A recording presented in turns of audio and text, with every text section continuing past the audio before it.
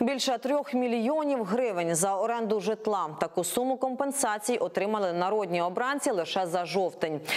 139 народним депутатам щомісяця виплачують їхні витрати на зйомні дома, квартири або ж готельні номери. За минулий місяць бездомні парламентарі отримали 3 мільйона 122 тисячі гривень. Найбільша сума виплат виплати близько 80 тисяч гривень дісталася депутату фракції Слуга народу Сергію Колебошину. А рекорд з найбільшої компенсації встановив депутат опозиційного блоку Муса Магомедов. Він у серпні отримав понад 137 тисяч гривень компенсації за житло.